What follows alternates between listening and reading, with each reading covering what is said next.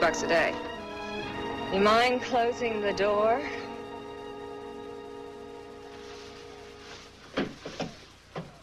Oh, you can put your stuff over there.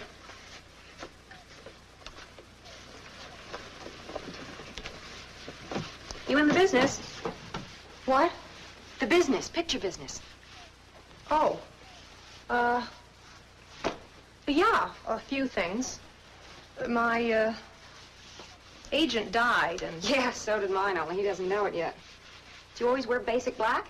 Oh, will you two shut up? I'm trying to sleep. I mean, is that your shtick? Uh. Well, I'm, uh. in mourning. My husband was killed in the war. He was an Air Force major. Oh, come on. Hey, don't mind her. She thinks sleeping all day gets rid of the bags you get from running around all night. Uh, this is Miss Black Market Hose, in case you run short. Well, actually, I'm kind of on a strict budget. Oh, money shouldn't be a problem for you. Uh, Beth.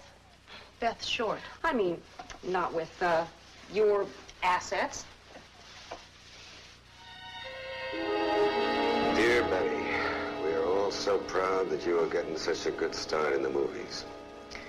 The minister's wife said she thought she saw you in the background of an Alan Ladd picture, but that she couldn't be sure.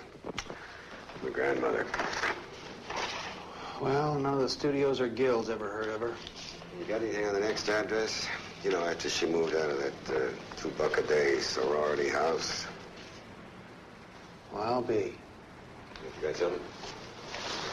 According to the date on that envelope, that was her next address.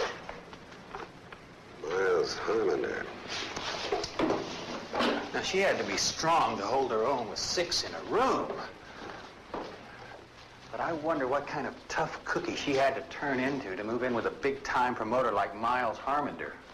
She ain't talking. But I got a